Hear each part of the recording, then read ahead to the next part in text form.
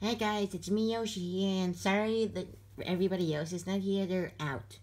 Sorry for for the bad lighting. It's a little dark in here because there's so much noise going on outside. You probably may not hear it, but there is so much noise once you open the door.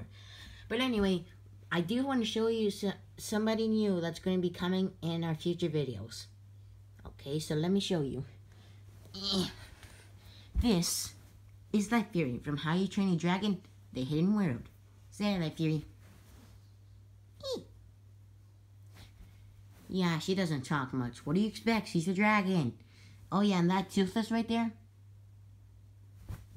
Uh, he, he doesn't really, he doesn't chop. That's not, uh, what am I saying? He's, that's not really ours. He's, we're just borrowing him for the video. Mm-hmm. Well, anyway, we just wanted to make a quick small review and sorry the sorry the video is a little short. We we I basically didn't have nothing else to do besides the gang going somewhere out somewhere out. So I just wanted to make a quick review of our new friend Light Fury here, which will which will be probably making a future movie which is called Mario and Friends Adventures Adventure to the Hidden World. Yes, that's right. Mario and Friends Adventures to the Hidden uh, What? Let me say this again. This is the last time I'm going to be saying it. Jeez.